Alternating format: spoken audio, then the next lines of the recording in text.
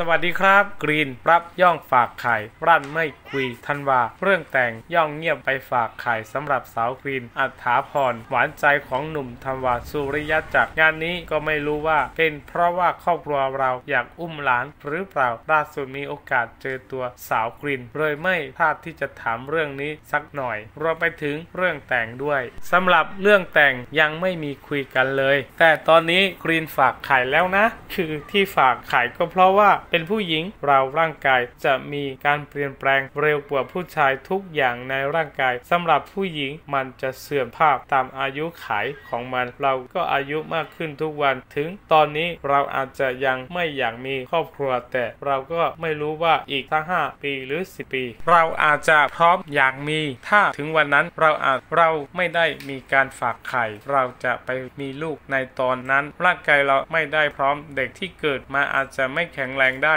มีการคุยนะว่าแบบเรื่องลูก แต่เราก็บอกไปว่ายังไม่พร้อมรู้สึกว่า ตอนนี้เรายังอยากจะทำงานอยากเล่นละครเขาก็ต้องทำธุรกิจด้วย การมีลูกเลยอาจจะยังไม่ใช่ณตอนนี้ ถามว่าทางครอบครัวเร่งไหมจริง ๆ ครอบครัวกรีน คุณแม่ไม่เร่งนะ แต่ทางคุณแม่คุณพ่อทาวทันวา เขาอยากเลี้ยงหลาน เลยอยากให้มี แต่ก็ไม่ได้เร่งเราคุยกันแล้ว และกรีนก็ไม่ได้กดดันอะไรนะ ทุกวันนี้ก็แฮปปี้ดี